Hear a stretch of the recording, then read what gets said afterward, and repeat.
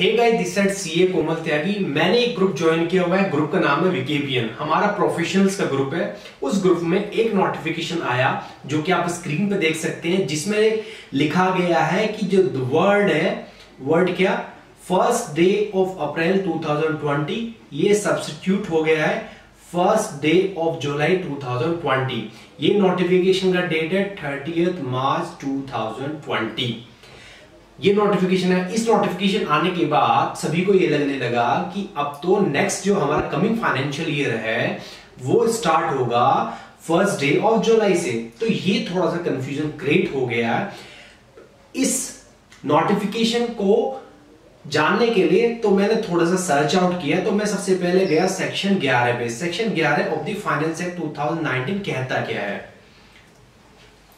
तो हमने income tax की साइट खोल सेक्शन इनकम टैक्स की साइट पे हम गए सेक्शन 11 पे सेक्शन 11 पे खोल के आप देख सकते हैं और स्क्रीन पे आ, ये सेक्शन 11 है जो कि रिलेट करता है सेक्शन 11 फाइनेंस एक्ट 2019 ये रिलेट करता है इंडियन स्टैंप एक्ट 1899 जी हाँ। और इसमें लिखा है commencement of this part the provision of this part shall come into force on such date as central government may by notification in the official gazette appoint तो यानी जो सेक्शन 11 फाइनेंस एक्ट 19 का reference दिया गया था उस notification में, वो रिलेट करता है amendment to Indian stamp act 1899 और जबकि हमारा जो नोटिफिकेशन था वो section 11 of the finance act 2019 के ही रिलेशन में था।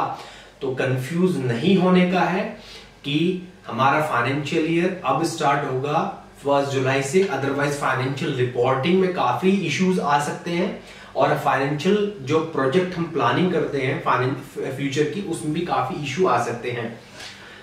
साथ ही साथ मैं आपको बता दूँ कि हमारे फाइनेंस मिनिस्टर ने लास्ट वीक हमारी फाइनेंस मिनिस्टर ने अपनी जो स्पीच दी थी, उसमें ये भी बताया था कि जो इन्वेस्टमेंट हम 31 मार्च तक करने थे, वो इन्वेस्टमेंट हम 30 जून तक भी कर सकते हैं।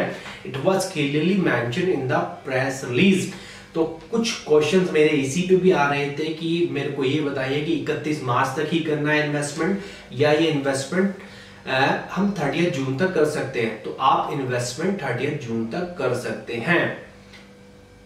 Thank you